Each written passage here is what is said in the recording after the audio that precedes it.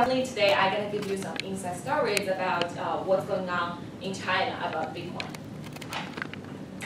And uh, talking about uh, uh discovering Bitcoin, the first time we're discovering the Bitcoin is uh, from online. Of course, that you know uh, there is a very famous article from Satoshi, and he you know talking about you know how amazing that Bitcoin works and blockchain works and that inspired a very first early adopter uh, in China. Uh, one of one of the one of those is our CEO Liang Li, and he uh, find out that you know Bitcoin is very amazing. That's why he um, you know wanted to do something with Bitcoin, like starting um, uh, start a business with Bitcoin. So uh, he got this idea, learned how uh, how about the Bitcoin, and then he uh, you know tried to find out if uh, if it works as a business in China, uh, in uh, by by uh, you know building up a, a Bitcoin team. So when we're building up the Huobi, we uh, uh, Liang he was actually the CEO and he grad, uh, graduated from Tsinghua University. And then after that, he went to Oracle for two years as an engineer. So he uh, he do have um, he do have a lot of connections in uh, technology and uh, inspired uh, by uh, Bitcoin, how amazing it is. And then he finds his partner, which is Du Jun, um, is also our co-founder and our C CMO. He's from Tencent. So Du Jun is actually very, very young. And he um, went to Tencent is because he built up his own business and bought by uh, Tencent after two, after two and a half years. So he like suddenly become rich because he have like a business. Uh, it's called the Discuz. Like um, it's a forum. Like people are going go online and talking about some specific topic, and his forum is very popular in China back then. So Tencent bought them, and then he become one of the uh, number uh, member in uh, Tencent. But after like two years, he he felt that you know he had different directions with Tencent. He wanted to building his own business, and that's why uh, Liang find him and then uh, talk about Bitcoin, how amazing it is, and then boom, they wanted to build up a company. So, you know, uh, um, so far, uh, is uh, invested by Sequoia, um, Sequoia Capital and Zhen Fund. So Sequoia is A round, Zhen Fund is Angel round. So um, I think um, by uh, by the uh, by the round of Sequoia, uh, we actually raised uh, raised funded like one fifteen hundred million in total. So that's uh, basically how um, you know at least uh, Huobi is well funded, and uh, uh, we never uh, borrow big money. Um, and the team is getting stronger and bigger. And right now we're having 130 in just one office. Um, in Beijing, located located in Beijing, like really really far, like in the middle of nowhere. I used to doesn't you know like it because I used to live in CBD, like a central of the Beijing. And then uh, when, after I joined Huobi, I went to like really really really really far. Like I drive like two hours just one way to get to work. And if it's traffic, they're like two and a half year, uh, two and a half hour. So I hate the traffic in Beijing, but it's a really good company, it's a good location because Baidu, the headquarters of Baidu is there. And the headquarters of Tencent is building and it's almost finished. So Tencent will be also there. So it's kind of like a technology zone. And uh, after they built up a team, they wanted to say that what's the logo, right? What's the name of it? And then we, we, uh, we actually bought uh, the, uh, the, the domain name from one of the famous guy, and uh, we call it uh, Huobi, which is the whole spell of uh, uh, fire coin, like Huobi. And uh, uh, because uh, Huobi in China, it means currency.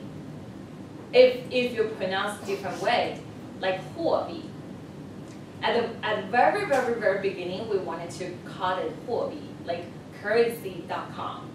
And but then we felt like, you know, if we caught it, like the China government gonna, you know, definitely second day to, you know, close our down and talking to, you know, to us like, what, what you gonna do? Like, why you're creating a currency?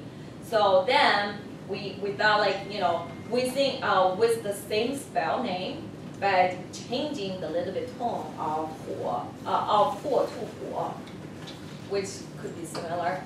Um, But then, I don't, I don't know if you get it, like a huo and huo.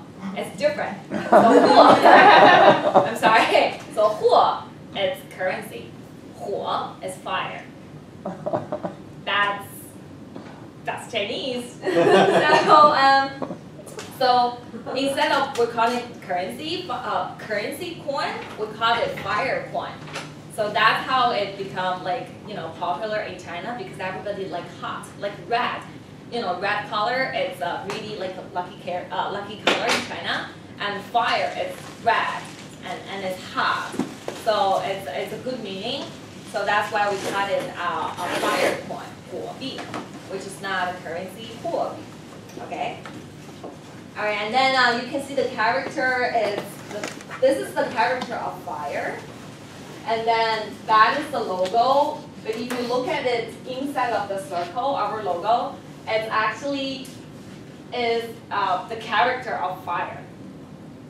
Can you, can you see that? Like, the, this is that, and the left is that, and then the right is that, and then the last one is over here.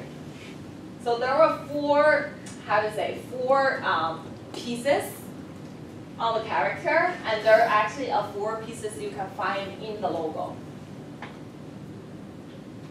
Okay, someone give me like okay or not. Okay, okay, okay. So um, so that's our logo, and uh, Leon um, designed it. He actually designed it by himself, and uh, it's a very funny story is after we designed this, we look at the China bank. There is a Chinese uh, China commercial bank. It's really like a, if you turn like 90 degree, it's a it's a it's their logo. Looks like similar to their logo. So we're like design a similar logo to a bank. Like that means that you know uh, how big one can do. Okay, so so we set uh, we set up we built up the um, the uh, how to say we built up the uh, website. We built up the team in March 2013, and then after that we uh, you know started doing the website, design the website, hire people, and find a space, a working space, and then by um, September 1st in 2013, that's the first day that our website launched. So this is um, on the very top, uh, very bottom left, that's little spot. It's the first day that our exchange launched. And the, um, on, December, on December 1st, uh, one Bitcoin equals to 806 Rand, which is like uh, more than 100 or something. Um, you know, the exchange rate is, at that time, okay, okay, at that time it's still 1 to like 6.5 or 6.2 or something.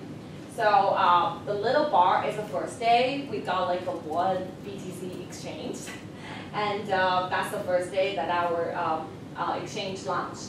And then all the way goes to 8,000 yuan, which that's the highest price in the history of Bitcoin. I think that's equivalent to um, uh, three, uh, 600 something US dollar. That's the highest uh, price over here. So this is the whole 2006, uh, yeah, sorry, uh, to, uh, 20, 2013. This is the whole 2013, um, the year that the price uh, changed sharply, goes up. Well, gradually goes up, but there definitely hits the highest price over here. And then, um, you know, you can see that by November 19, and one BTC equals to 8,000 yuan. And that, uh, you know, that's after three months that uh, Huobi launched. And we got like, uh, um, like, I think like 10 times of the users growing after we launched. Just one day that uh, hit, you know, the highest price uh, of the Bitcoin. So, but then on December 5th, the price you can see, if you see the price is going down very, very much by 35%. Uh, why is it? If you, if you don't know, then I can teach you. that on December 5th, the people, people banks of China they issued an official uh, uh, official digital currency policy, and they actually announced it on December 5th. So by one day, the price is going down 35%. The policy says the banks and payments company were um, prohibited for doing any Bitcoin business. So the original is saying that if you're a bank or financial institute, you are not allowed to provide services to Bitcoin or Bitcoin related company. So which means that if we are Huobi, like Huobi, if we are the Bitcoin company, we cannot open a bank account in um, in um, in China, which means that when people wanted to exchange to us, there is no banking access. So we're not allowed to having an actual bank account. So and and um, uh, the Bitcoin was classified as a ver uh, vertical commodity, which is uh, you know uh, similar to other country, uh, other uh, foreign countries that is defined as a commodity, and it's legal for people and own trade.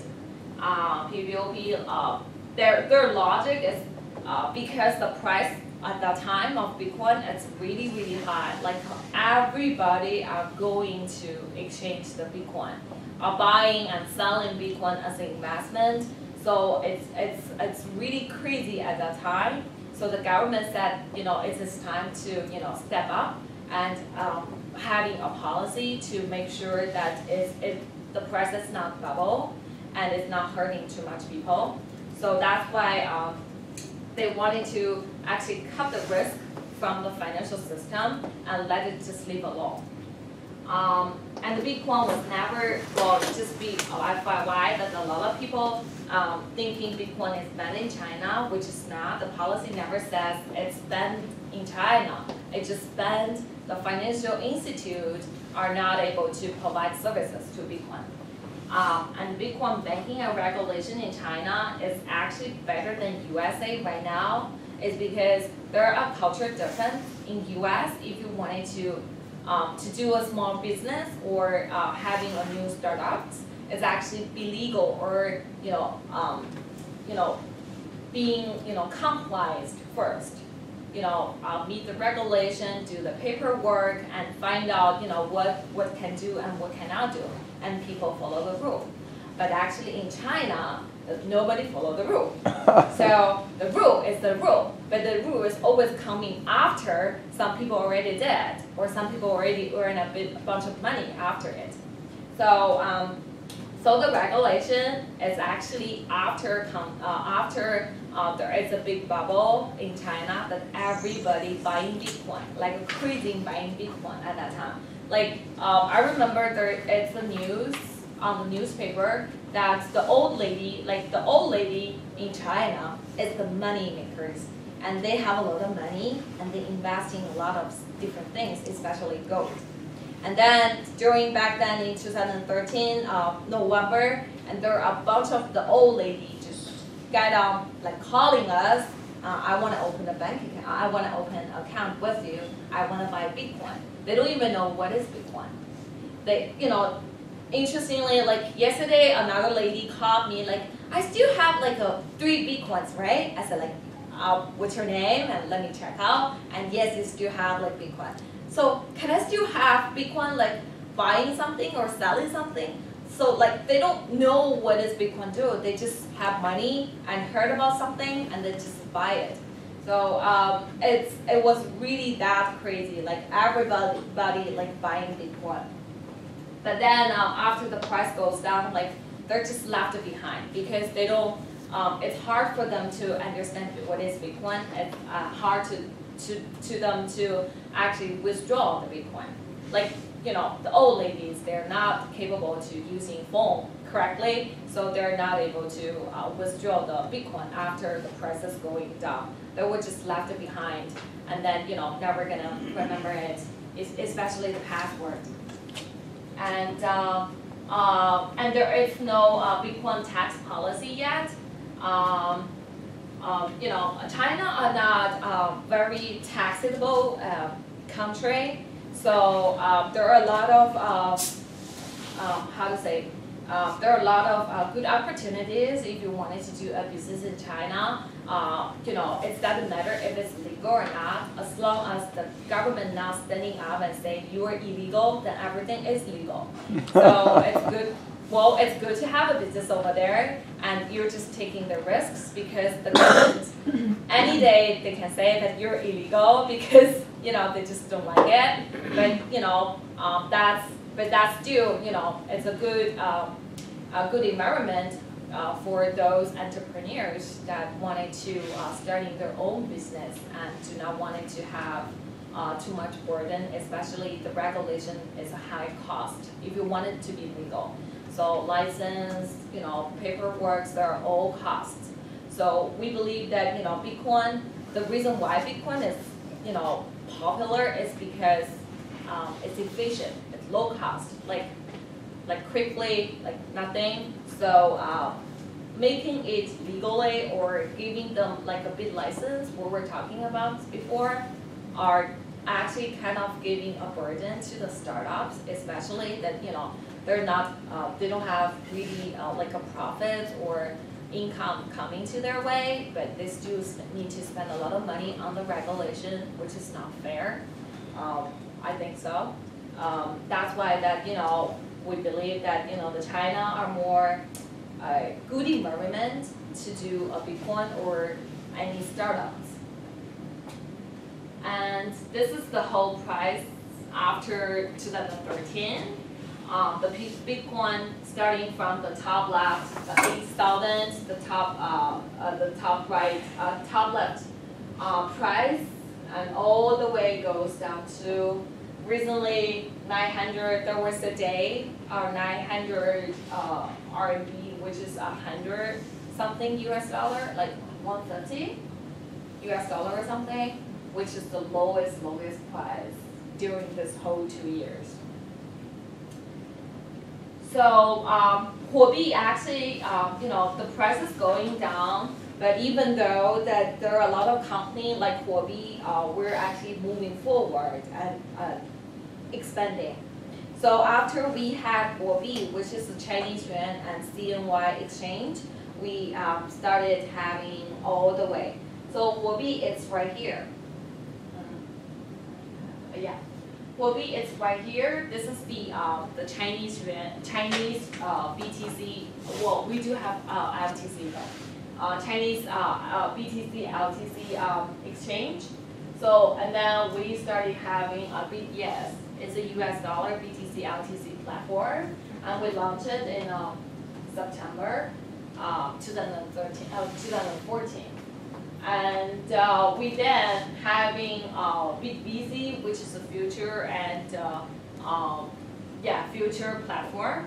Um, and also, um, is one of the uh, websites, but we take it down because we combine it with BC together. Uh, these are the Bao, if you're familiar with it. Uh, it's a financial product in uh, BTC that I, I will introduce later.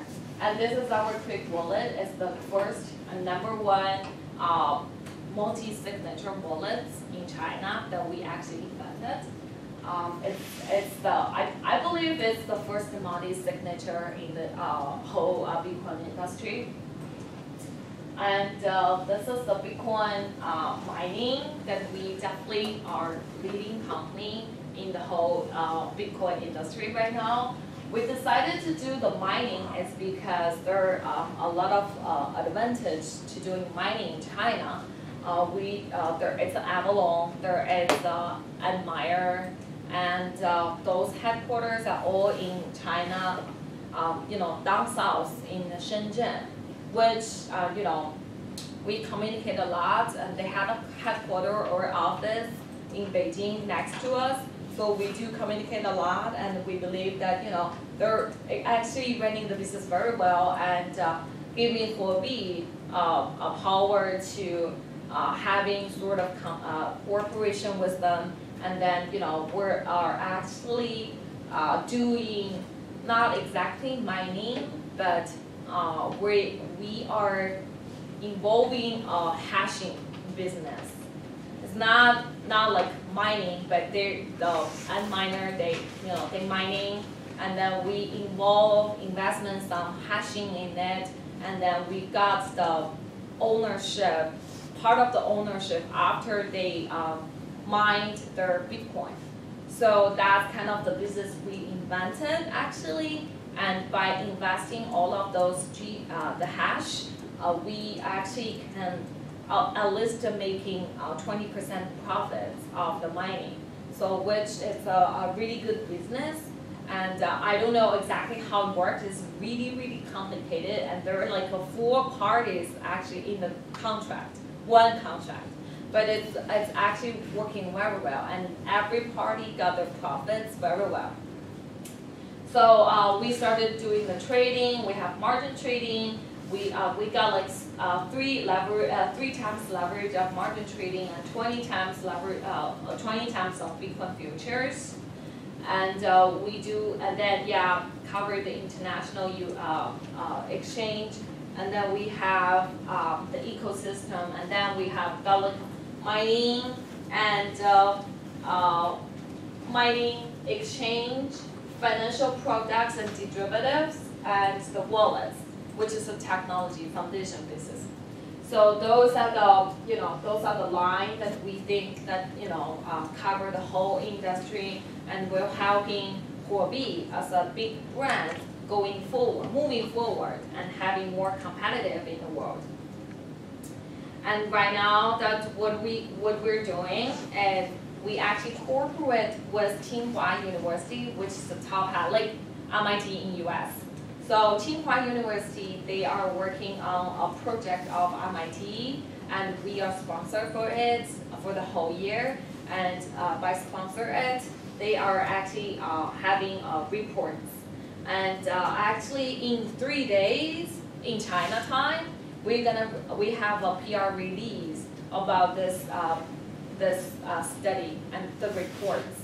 And um, that's actually the first Chinese um, inside um, study uh, in the Bitcoin history that released uh, a deep re report, research report about Bitcoin. And uh, for Tsinghua and, and Huobi, we are joint uh, Bitcoin research initiative and published the first Chinese global Bitcoin and industry re reports. And the purpose is educate and influence. Because um, um, you know, if you want to educate market, that's a huge cost. Now, you know, most of the time it's the big corporation or big comp company, they, you know, spend like 10 or, I don't know, 6% of the budgets to educate market. And as a not very small company like Huobi, we still wanted to educate, you know, what is Bitcoin and what Bitcoin can do in China, which which we think is very, very important to let people know that it's not only an investment product. And in China, people see uh, Bitcoin very strange as the investment with capital B. So they think that, you know, they invested, um, I gain like 10 or 30% per year of, of, the return. So I, I, I need that return, that's why I invest in uh, Bitcoin. So it really doesn't matter they're investing Bitcoin or Litecoin or, uh, or Mastercoin. As long as they make money, they invest it. So they really don't understand how uh, the, what's the best part of the Bitcoin. That's why we working with the top tier um, university to study educate our next generation to maybe they are more understandable to you know to the Bitcoin and maybe they are um, they are the futures of, of the country, so they are able to having a proper or, or good education uh, by us, and they will uh, contribute in the Bitcoin society much better than what, what we're doing right now. So uh, the purpose is educate and influence. We, uh, we're having a business leader, entrepreneurs, investors, and policymakers all involved in this study with the school and we coordinate a lot of connections that we, we all have, especially we bring it in uh, uh, with the PBOC, which is the Chinese bank, uh, China Bank of, of uh, Bank of China, our leaders, and make sure that they they know what is Bitcoin, what is the study about, and uh, they are happily, they are approved, and we're gonna have a joint announcement in three days. So, yeah, we believe that, you know, Bitcoin in China will be strong ever. um, and to talk about mining, um, there are a lot of uh, companies are doing mining. Uh, Bitfury is chips, K, K, um, uh, KNC miner, light, lighting business, in mining, yeah. And my, the most close friends with us, yeah, um, yeah, um, Bitcoin is our mining project, and we're launching, we launch it soon. Uh, we, we think that mining is still a very big important thing uh, in, in the whole uh, in the whole world, and China is still the core and the center of mining in the next few years. So we're gonna focus on or concentrating um, developing uh, mining in China, uh, which means that you know we're trying to uh, you know being more advantaged in the whole uh, Bitcoin industry. So um, having a good relationship with uh, Bitmine and Bitmain and Bitmain and Antminer, they're actually the same. Um, minor is, um, well, they are, Antminer having two co-founders, and one co-founder is doing in minor, and the other co-founder left Antminer and started doing their Bitmain. So, but now they're combining together again because you know the price is going down and a lot of people are not making profits. So you know it's just interesting that the business uh, is always like enemy, friends, enemy, friends. so uh, Big uh, Bitmain and Antminer it's one of our best friends, and then it's Avalon, and those two are the close partnership with uh, Bitcoin. Uh, and then those are the uh, different other mining and other things, um, you know, as you can see. Uh, and actually there are a lot of, uh, in China, not only Huobi are doing mining, BTC China are doing mining as well. And they're actually uh, the, last person, the third, which is the last person to do mining in China, but they are uh, growing really fast. They're, we are like 10% of the total hash like we're on 10% of the total uh, hash in, uh, in Bitcoin. And uh, I think um, BTC China own like a 5 to 6% of it, which is considered a really fast growing within like a year. They're just doing a year. Um, and this is the hash rate. It's going up, but it's going sharp down. It's similar to the price of the uh, the Bitcoin. So yeah, they're really, really having a difficult time. And I heard about that, you know, uh, we invested like a billions just to, to pay the um, electric bill. So when you're running the mining, the only thing you need to do is machine and elect electric. So there is the machine is by Antminer and Avalon, which we don't need to worry about. The only thing for our cost is electric bill. So we're trying our best to find the lowest, lowest electric bill. And it's also the trend of the, with, uh, in the next two years that as long as you have a low cost of the electric bill and you're making profits for sure. So everywhere, like uh, we tried Korea, like not only we tried to find in China, we tried to find overseas. In Korea, the electric bill is really, really high. Like nobody can afford to do mining. So we, uh, we tried uh, Russia. There are a lot of uh, low cost, like cheap, cheap uh, electric in Russia, but they're not reliable because the currency of uh, yeah, ruble, they're going down sharply, and including the uh, euro, and they're going down sharply. So we have the risk of uh, foreign exchange FX risks that you know we need to control too. So that's double risks than our finding our own electric in China. So that's why we decided to do doing the electric, uh, trying to find uh, cheap, cheap electric uh, in China. And so far so good. So, uh, question on yes. the, the mining. Do you guys mine independently, or are you part of a pool? We uh, we actually are partner. We are we are having partners with people So, uh, one of the partner doing mining, one of the partners doing, uh, hashing, like the hashing pool. One of the partner is doing selling. So they're, we're all combined together. It's not like individually you can do, we actually, uh, separated the process. And by different process, uh, it's, you know, operated by different part, uh, parties. So who administers the pool? What's, What, who's, who's the mining pool administrator? Uh, we are owning the mining, the hash, the mining pool. Okay, so, like, if, I, I'm just like looking at like a, a chart of like a breakdown of all the mining pools and how they kind of make up the, the total hashing power on the network, and I'm trying to figure out which one you guys would be part of. Uh, you- are you talking about the names or? Yeah, are you part of like, like, Fish pool? are you are you part of Discus Fish or? Yeah, Okay. yeah. Any question? Okay, um, I'm not the expert of uh, mining, but if you do interested in mining, one of our CEO, the, uh, the Bitcoin, the CEO of Bitcoin, he's the, uh, very expert in early age of the Bitcoin adopter. And he will having, uh, giving a speech in Hong Kong, Bitcoin, in, uh, inside Bitcoin conference. I just got him in. Um, and it's gonna be in May thirteen and four, uh, sorry, fourteen and fifteen in Hong Kong. So anyone, if is interested, definitely, you know, could go there and, uh, you know, talk to him about the mining. He is, he's expert of the mining, he understands it very deeply. So that's why we have a really, uh, deep partnership with Miner and Avalon. So about the, uh, Bitcoin mining, and, you know, it's really a hard time, difficulties in increasing, revenues is falling.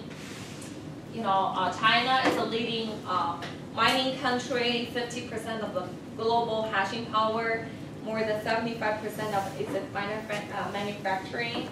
You know, um, yeah, but, uh, right now, uh, um, you know, last year at this time, yeah, last year at this time, I see there are at least seven to ten uh, mining companies just in one city in China.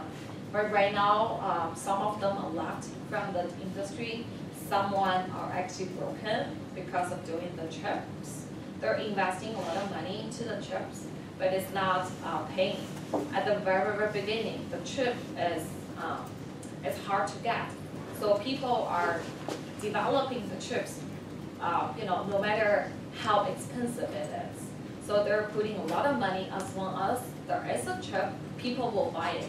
So a lot of people are spending a lot of like high cost chips and to product it, but after they produce it, the price is going down and plus the uh, uh, there are more people of, uh, in the uh, chips industry, so their products that already produced uh, out of uh, are uh, cannot be sold. So um, uh, they actually uh, you know um, uh, lost their profits and, and even cannot getting back their, uh, their, their basic cost from the chips. So, uh, you know, there are a bunch of people, uh, you know, quit from the chips industry.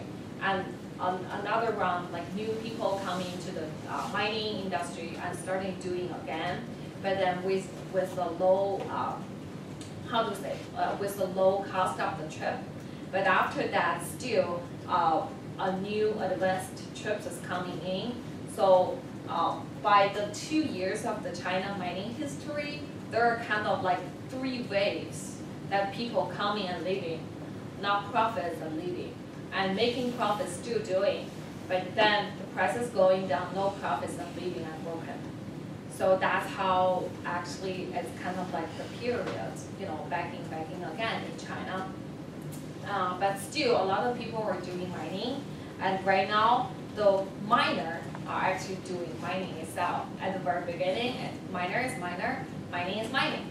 Mining producer, they're only produce the hardware, and uh, miner is buying the hardware and uh, doing the thing. But right now, less and less people are doing it, so everybody having different role, uh, combining uh, to a different role. So, uh, you know, miner are doing uh, mining and mining are doing uh, miner's job. So, which means that, you know, by the, uh, the down, the decreasing of the hash uh, uh, increasing of the difficulty of uh, hashing power, a lot of people are creating this whole business game. So, I have a question on that, so you said that you're investing more in the, mining space, already, um, the revenues are squeezed as much that you can't collaborate more and, and do things differently, um, how do you project next year with the next block halving? That's a really good question, and I know that definitely um, there are a lot of people, uh, you know, doubting about it. Um, that's why that you know, as a Huobi, um, we actually having a secret. Uh, by a model, we're calculating a model. By cal- calculating a model, we actually can know what exactly the price will be, exactly on what date. Uh, only regarding the Bitcoin mining. So we know that, you know, by what, what's the price of the Bitcoin, we will making profits. So as long as this price is higher than that, we're selling it. So we're making profits. And, and we actually can, uh, making sure that, you know, in the next one or, let me say, six months, we're profitable because we're doing procedure one, two, three, and four. And then after that, well, this is the whole uh, team, they're working on it. And uh, they can share the secrets in Hong Kong conference. We, uh, actually, we discussed about it before I came into it, but I only know a little about it, not too much. So, yeah, I guess the question was just, do you project to be profitable even after the next halving? Yeah. Okay. Yeah, and we actually, um, the key point is, the on- only Huobi can do it, nobody else can do it, because we have the resources, we have the power, we have everything. Because you have everything like one, two, three, four, that's why you can do it and predict it's profitable.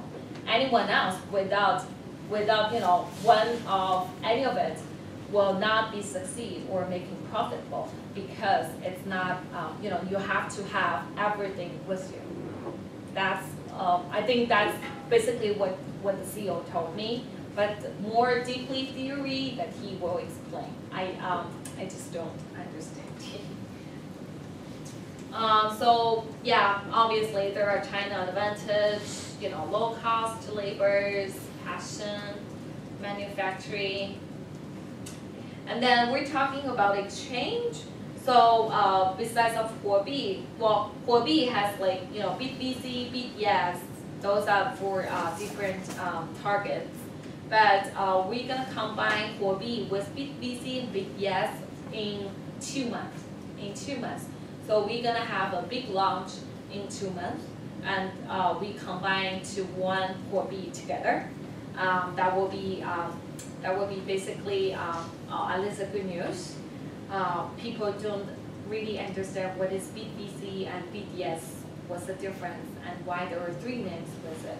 So um, to make it short, we combine it to one name as of Huobi that is already well known.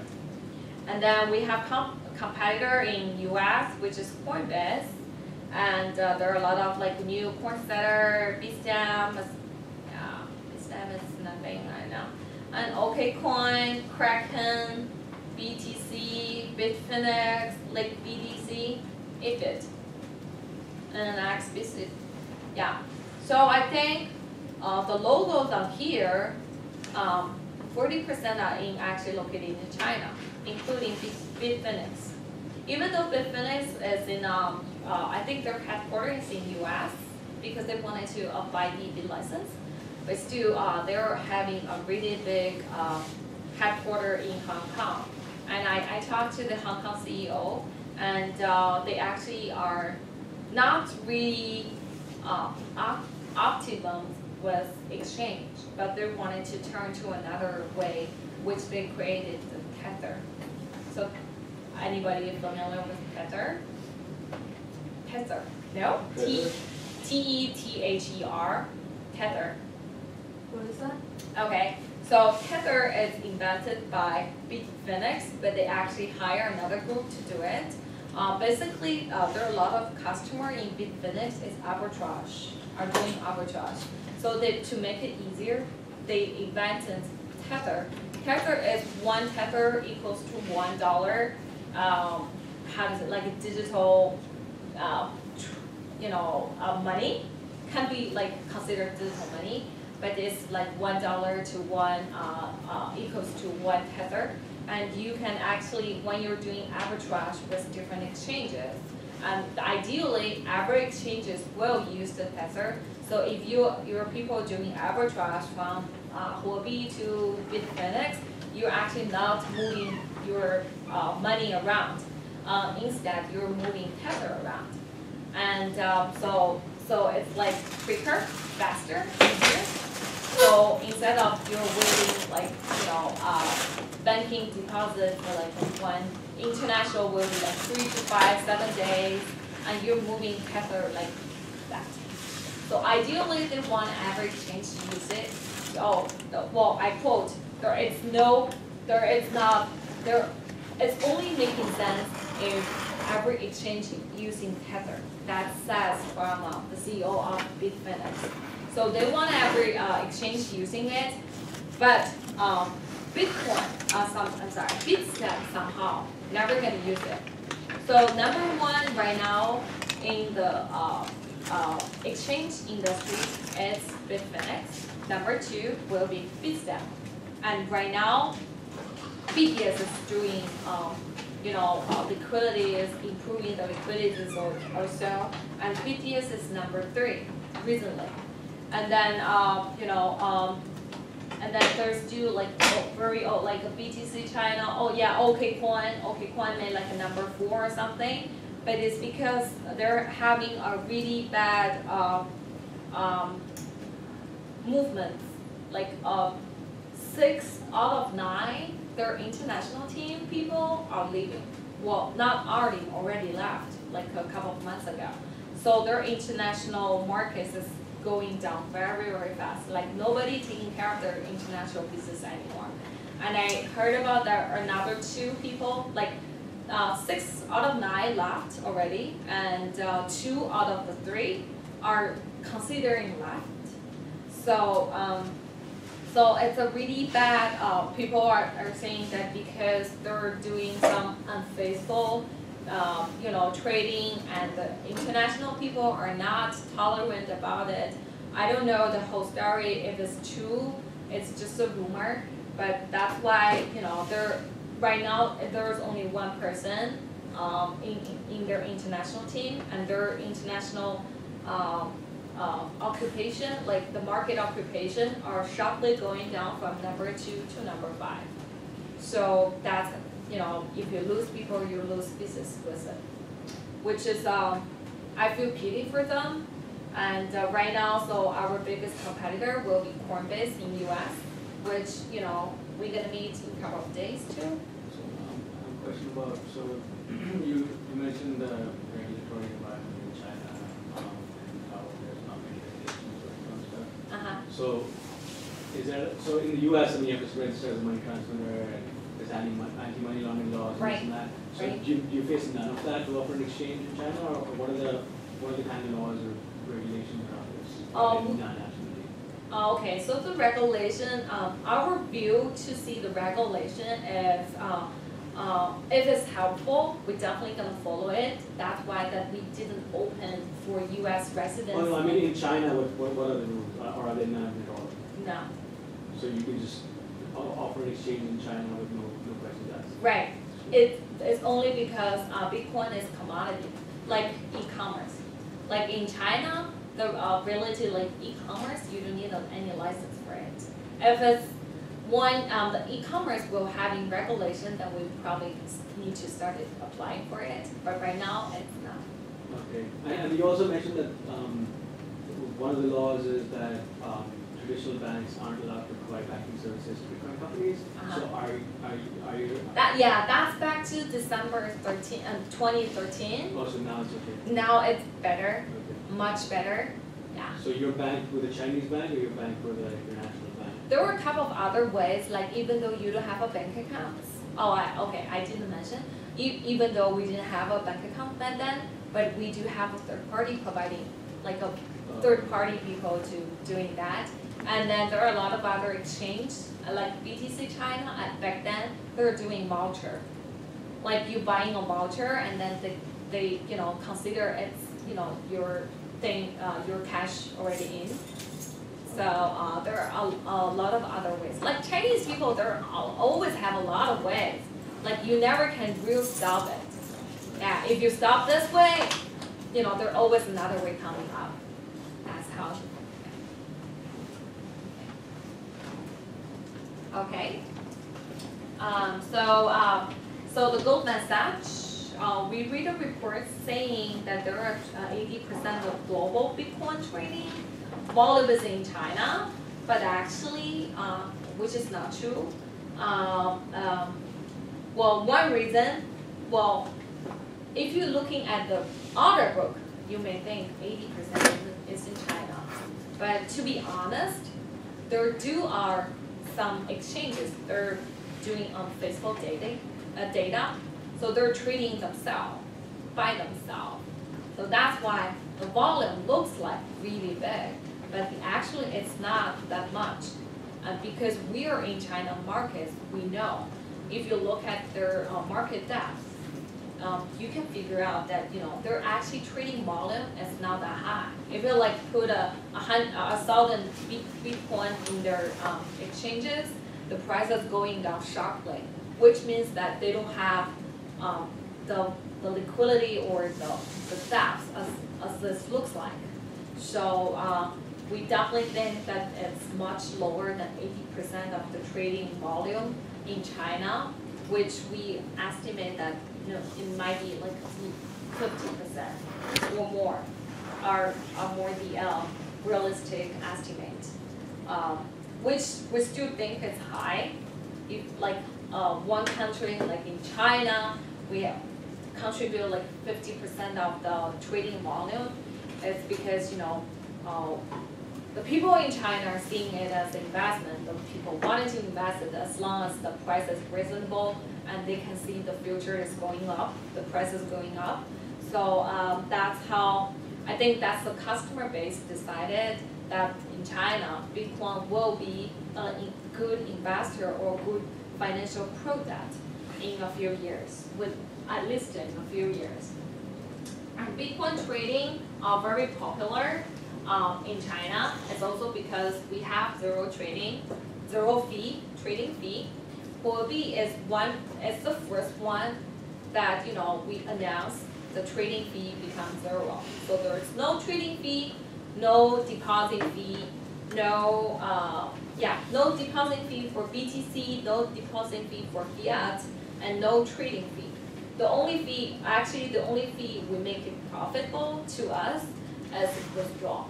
If you withdraw cash, you need to pay like certain, like a little amount of it. If you withdraw BTC, there's still no fee. So the only way to keep us still profitable is we charge a little, little, little, little fee. But still consider as no trading fee, no deposit fee, and only, you know, two out of one, uh, one of the two, uh, charging, uh, the withdrawal fee. So, um, uh, but it's, it's still working very well and it's very profitable, at least in the past two years, one and a half years. And right now it's because we're having BTC, so we're more profitable than ever. And there are not many other uh, legal investors, uh, investment opportunity in China. So China is interesting. It's a, uh, it's a, it's a big financial market, but a huge uh, lack of financial product market. So people are having a lot of money but don't know where to invest or invest to what. So um, um, that's why when Bitcoin comes, people know about it. Doesn't matter what what it's for. It's just to invest. Um, so as an investment, um, you know, uh, there are a lot of um, conservative investors, and they're investing in real estate and gold, and the most popular long-term uh, long-term investment. Uh, so Bitcoin is a digital gold. Um, that's only a few people understand this now. Uh, but more education, uh, more education and marketing will create the demands of the Bitcoin as a long. Yeah, this is uh, talking about the long, long-term investment, um, which sadly I cannot see that Bitcoin could be a long-term investment in China. because uh, if you don't really understand their value, you're not able, you're not actually gonna commit to hold it for longer. So a lot of people are selling and more and more people, uh, not many, but there is a trend that more and more people are leaving exchange, like leaving Bitcoin exchange. Uh, I'm not talking about Huobi, I'm just generally talking that people are leaving uh, in uh, Bitcoin industry because the prices keep lower. You know, from the last year, the end of last year until right now, it's almost six, seven, seven months already, and the price is not backing up. So people are losing faith to Bitcoin, I mean, as an invest, uh, investment product. So people are leaving. And Bitcoin for international transaction, which there is huge potential, and we see it as an international key uh, e-commerce we can use in uh, in Bitcoin. International remittance that we can use in uh, Bitcoin, and uh, P2P payments that you know we probably and we are. Uh, the reason why this time I'm here is because uh, we are actually expanding in US, so we're looking for a full-time job, offering of full-time position in, in US, either in New York, I mean New York big area like including Boston, or in San Francisco. So ideally, we want to find someone to actually building a bridge between US and China to make to you know explore some um, some um, some um, some business uh, potential uh, you know uh, opportunities between uh, a international e-commerce or remittance or P2 uh, B2B payments. So we're talking to um, a lot of different companies and try to hire someone locally to you know become you know doing the rest of the work after we come back to China. We definitely need someone to be in U.S. So um, if anyone interested, you know, here um, you can, you know, tell your friends that we're hiring. You know, prefer to uh, be in the Bitcoin industry or having a really deep thoughts about Bitcoin. And uh, at this moment, we only are uh, cooperating with financial related company. Uh, you know, sadly at this time, uh, you know, later on, we more like going down to the blockchain technology, maybe. But at this moment, starting as, you know, really somewhere close to the money. We're generating money. So we're talking about e-commerce, remittance, or P2Ps between China and US. Like lending club. We're talking about lending club. We're talking about uh, Indiegogo and uh, uh, Kickstarters.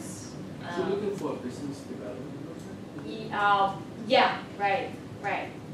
It's kind of like a bridge that having a really um, insight of you know looking at the Bitcoin as an international uh, tool that could build up you know you know something that U.S. doesn't have but China has, or something that China don't have but U.S. has. Either way, or hopefully you know uh, round trip, but you know definitely um, are in financial field. Um, and uh, well, uh, for Bitcoin payments in China, um, like in US, there is a BitPay that we actually are very respectful for it. But in China, unfortunately, there is no payment method or payment way for Bitcoin. It's because um, there are a lot of there are good companies already exist like uh, uh, Alibaba. They're doing payments as a Zhifubao, which is the name. Like uh, it's like Alipay.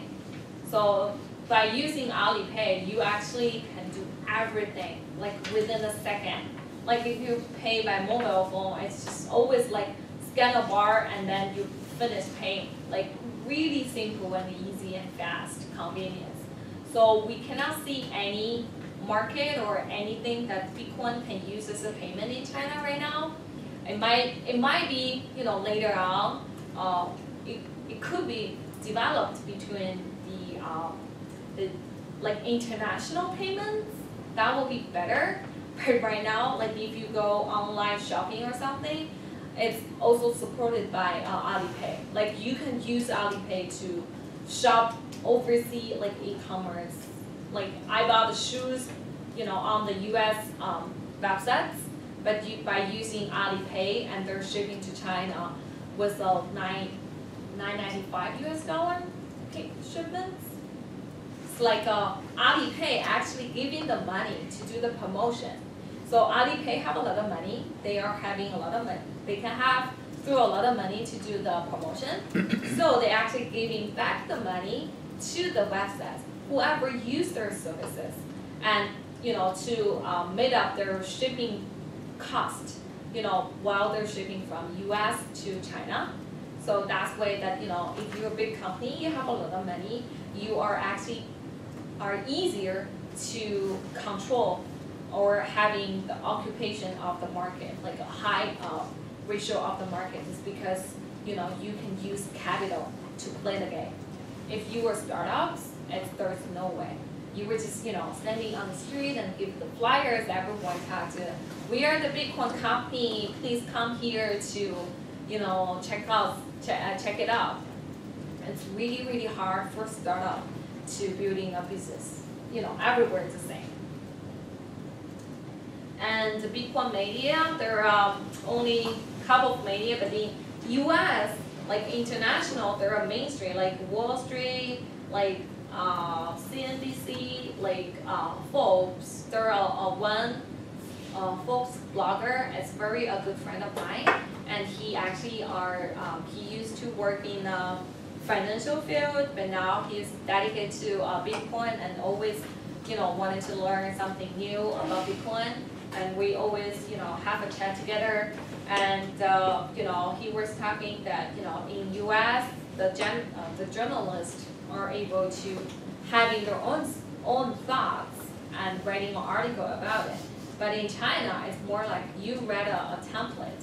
You read everything you wanted to say and send over to them. And they're even lazier, you know, to check it. They will just post it. If you if you say it good, it will look good. If you say it not right, and it's it's gonna show not right. So they don't think it's their reputation to need to keep. It, they they actually think that you know uh, you actually read it, you know, bad or you know making some mistakes by yourself. It's not my business.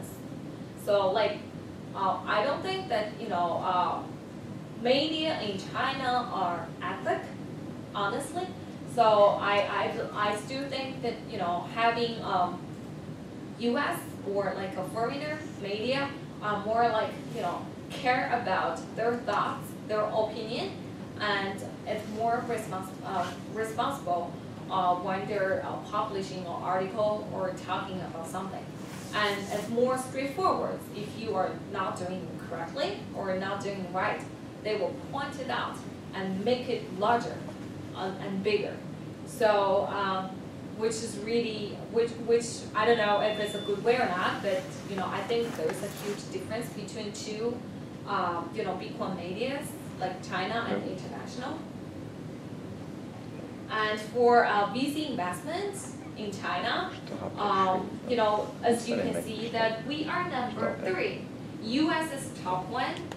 Uh, it's more than 25 million, uh, 25 million and Netherlands is twenty, uh, number two. I think the reason is because, uh, big furries over there. So to develop a chip, you need a lot of money, that's why. Um, I think in two thousand, uh, two thousand fourteen, just one year, they actually raised two rounds of the, uh, VC fund. One is twenty million, one is, uh, twenty million. So in total it's 40, uh, 40 million, which consider high. And in China and Canada, China is, you know, lower than, uh, five thousand. What is the color you?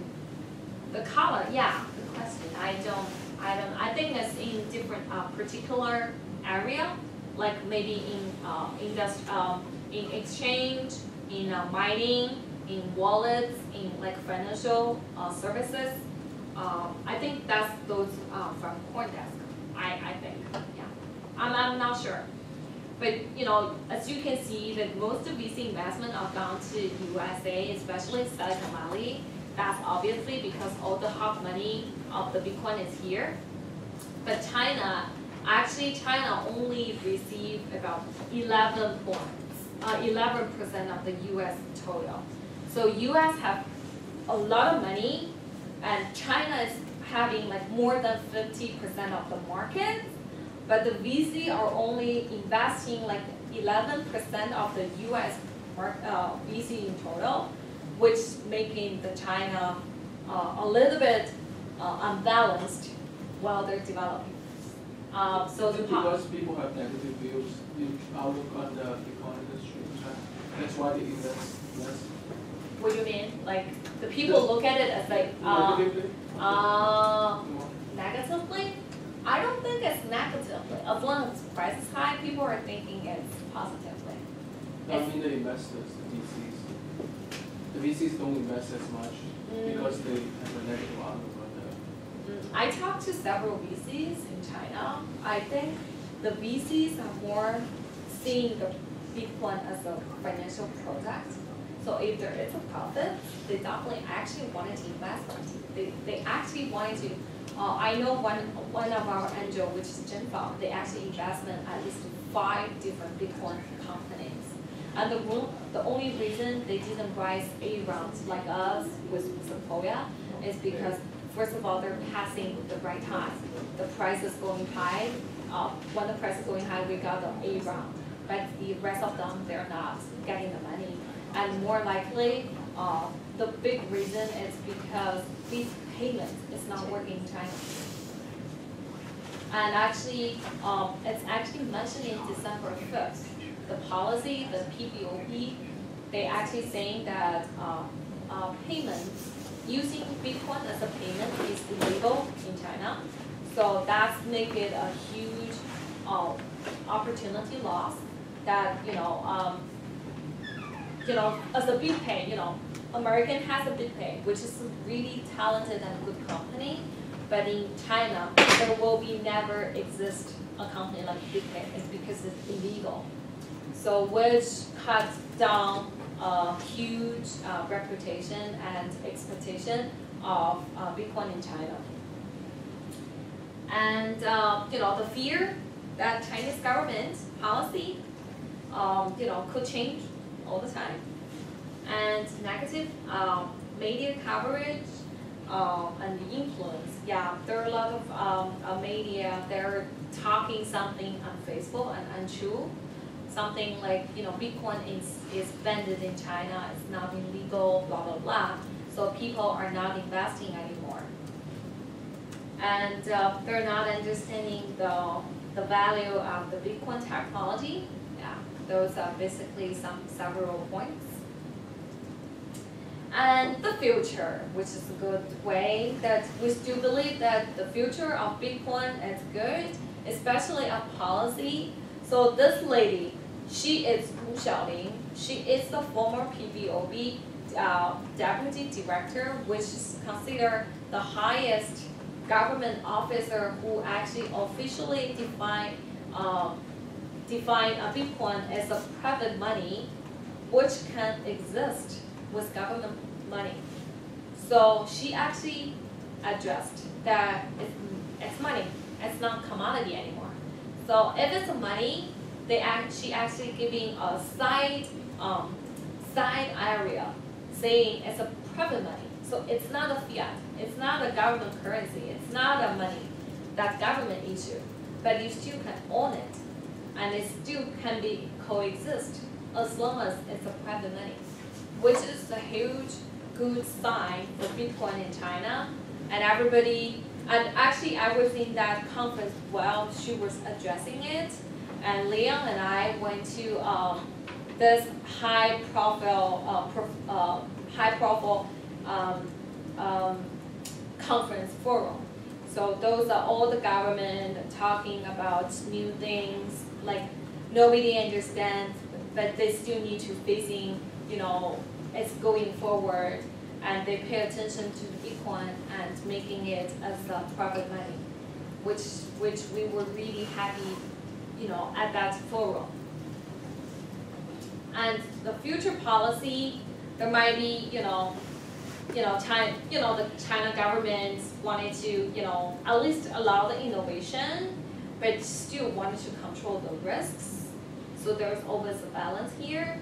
And the December fifth policy act is separating, um, the Bitcoin risks from the financial system, which right now it's safe, considered it's safe for them.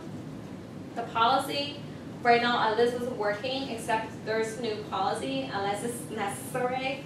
But the Bitcoin uh, companies uh, like us must be self-regulated.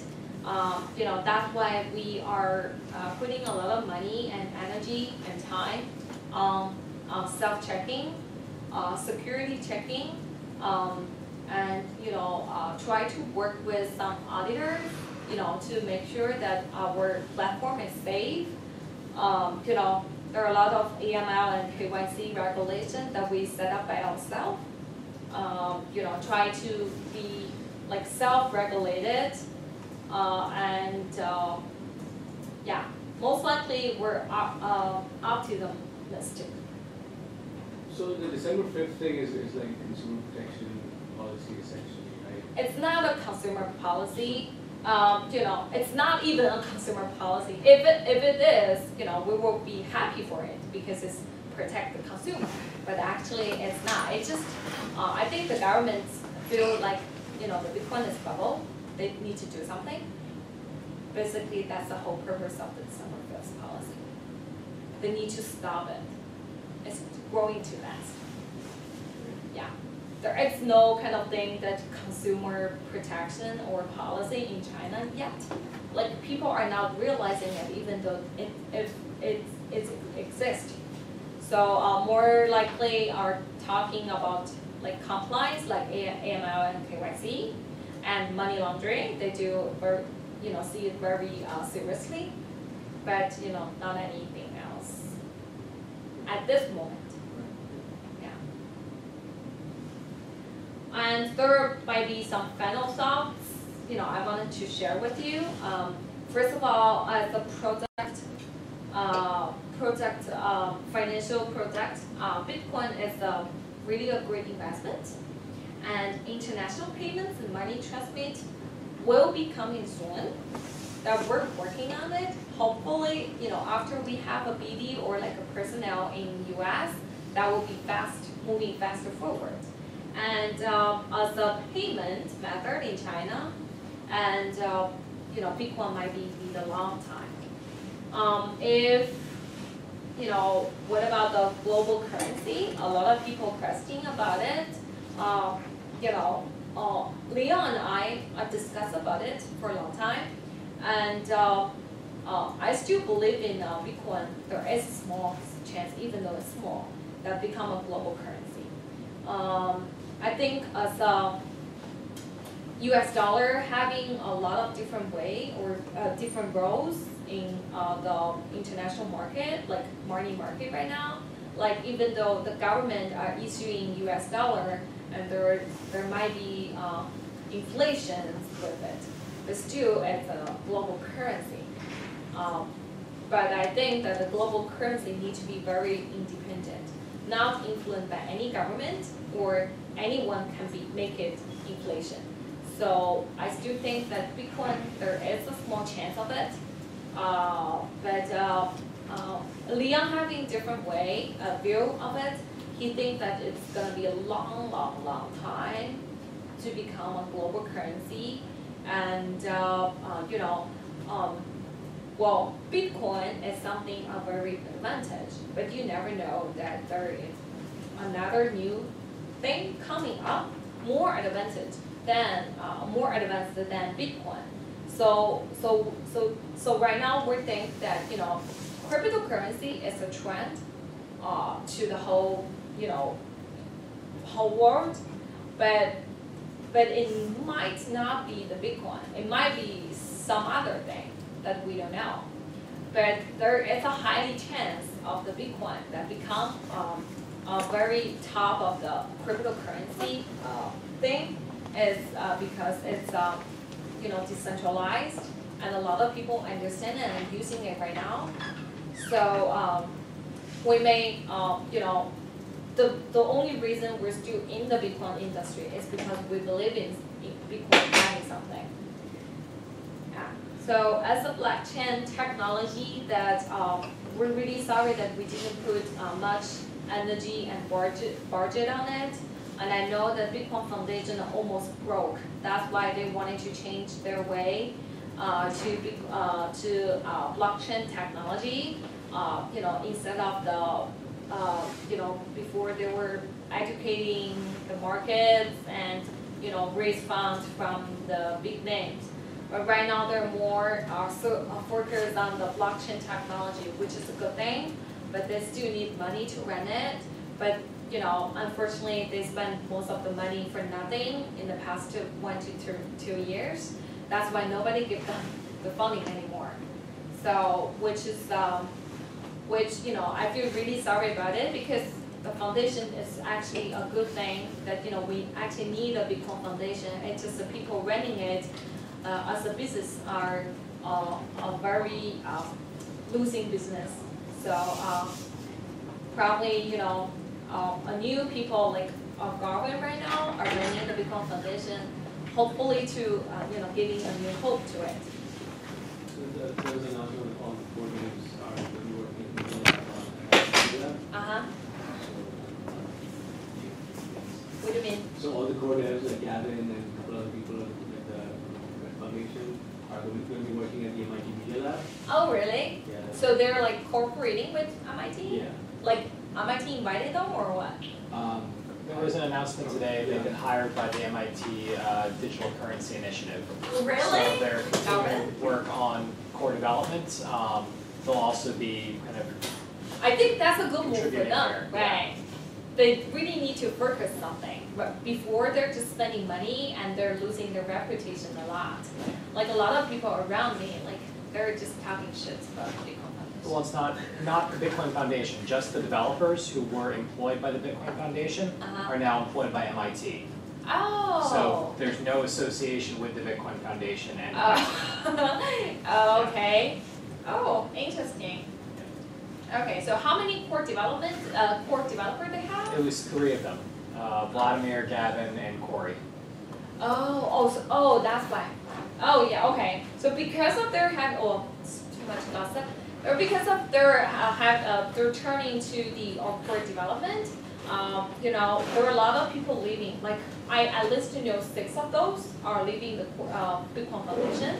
Uh, you know, because they're turning a different direction and they're cutting off, um, kind of like laying off people. And CoinDesk, which is the, um, the, the new, new site, I don't know if you guys know, CoinDesk, they're actually laying off too. So because the price is really down at this moment, are a lot of companies without uh, good funding or raising money are actually cutting people. Um, you know, just feel, I, I just really feel sorry about it, but, you know, people are still hanging on there even though they're not working on, um, uh, you know, paid, uh, to write a Coindesk article. I know, you know, a lot of people are doing, um, for free and finding more like a daily job, uh, still in Bitcoin, um, industry, and then, you know, writing article on the side job, which, you know, I feel like so happy for them. Yeah, basically that will be it. Thank you very much. Any, any questions? Yeah, Yeah, so you said that uh, uh, it was, as far as I understand, it was illegal for your company to, um, the, the transfers of money with the regular banking system was illegal, is that correct? um, on December fifth, at that time, yeah. So at that time, we didn't use the banking money transfer. Instead, we using the third-party payments services. And back then, it's much better that we uh, gradually open bank accounts with different banking. Uh, so uh, at this moment, right now, if you go online, try to do the deposit and withdraw, it's smooth and there's no problem by using the banking. So I'm sorry, can you say that in, uh, so, so you're sort of working around the regulation, is that what you're doing, sort of? That's right, that's right. Well, um, um, which, it's a public secret right now. Mhm. Like the Chinese exchange, they always find a way. Mm. Like when the government saying first of all, the government didn't say that it's banned.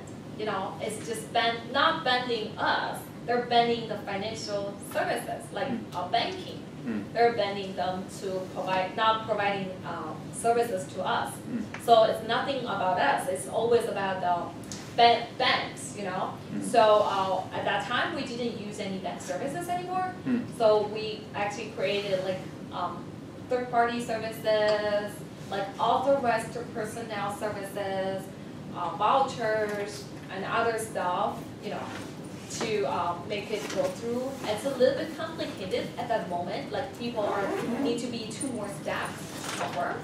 But right now, it's coming back the regular way, which the government, well, the prices like that, like nobody gonna really care about Bitcoin anymore. So um, there's no need for regulation to exist to, you know, bending or stopping it. So that's why, um, you know, it's coming back, gradually coming back. What do you mean nobody will really care about Bitcoin? Uh, It's because first of all, um, the total market share of Bitcoin is only like three to four billion in total, which consider this, it's not a big number in China. Like the government have much, much, many things need to worry about. You know, this, consider this, you know, market share, it's not, um, you know, even though it's a problem, it's never gonna be a big problem. It's because it's only three million for them. So it's not something that they need to worry about at this moment. If it's a price going up, like that was say if a tri- triple million or billion, then that's need to be, you know, worried about. If anything.